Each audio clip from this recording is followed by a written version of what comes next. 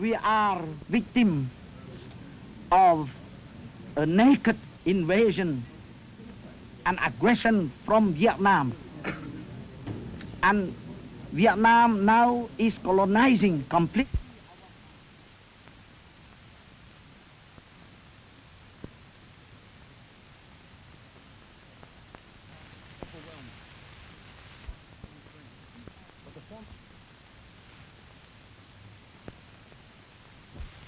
We shall fight to the end.